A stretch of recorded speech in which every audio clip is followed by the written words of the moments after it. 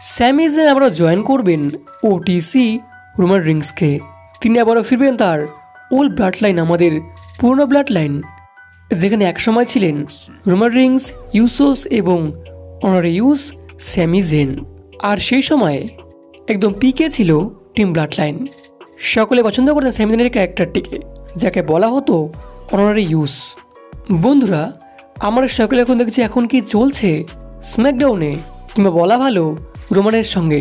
Roman Rings এখন একদম একা হয়ে রয়েছেন। বাট তার বিরুদ্ধে রয়েছে চারজন ভয়ানক সুপারস্টার, সোলসিকুয়া, টুঙ্গা এবং জেকো ফাটু। সবচেয়ে ভয়ানক হচ্ছে জেকো ফাটু।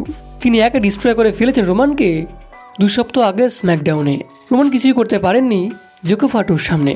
আর আমরা এমনটা জানি যে পরবর্তীকালে হবে survive series pay per view আর যেখানে হতে পারে একটি blood line war game match যেখানে একদিকে থাকবে সোলো টিম বিপক্ষে থাকবে রোমান রিংসের টিম কিন্তু রোমান রিংস তো একা, তার সঙ্গে কেউই নেই। আর অপরদিকে রয়েছে সোলো সিকার সঙ্গে তার তিন ভাই। তো এ থেকে এটা ক্লিয়ার যে রোমানকে অবশ্যই হেল্প করতে হবে কোনো সুপারস্টারের তো আমরা জিমিউস এবং জেউস হবে এটা আমরা সকলেই জানি।